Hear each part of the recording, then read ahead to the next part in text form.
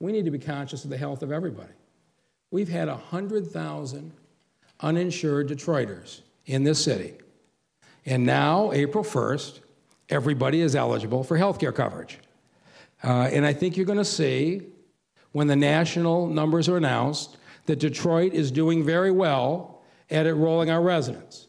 But we've still got, we estimate, another 20,000 people who are eligible for health care who don't have it. And so in March, we are going to redouble our efforts. If you have not enrolled in Obamacare, we will have somebody every day on the main floor of City Hall at the Coleman Young Center.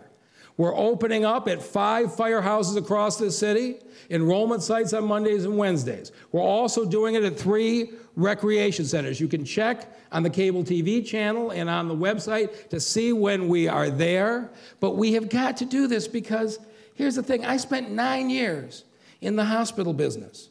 I can't tell you the number of times I saw people crippled by strokes when it could have been prevented with simple blood pressure medication.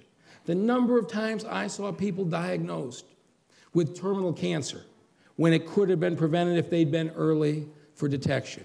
If you are uninsured, you live sicker, you suffer more, and you die earlier.